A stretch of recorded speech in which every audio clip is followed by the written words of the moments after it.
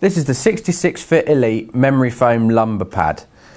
Like all the 66 Fit Elite products, it's got the 100% breathable airflow material on the outside. On the back, unlike some of the pads, it, this one doesn't have a strap. It's primarily designed to go in a car, but you can use it on all seats. So you just put it in the small of your back and your, your weight actually holds it in place. You can see we've also got a zip here.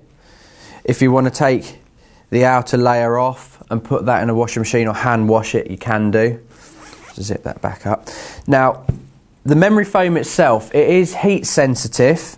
It will basically mold itself to whatever shape of body you've got. So for me, I'm going to put it in small my back here, which is what it's designed for. Some people have got a larger curve in their lower back. Some people have got less of a curve.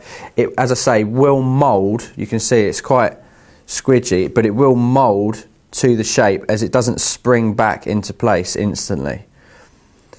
So the idea is that you put it in the small of your back, in your lumbar, and it's going to prop you up and make you sit in a correct position. It's going to put correct postural alignment and put your spine in a nice neutral position, stop you slouching forward and stop you hunching over.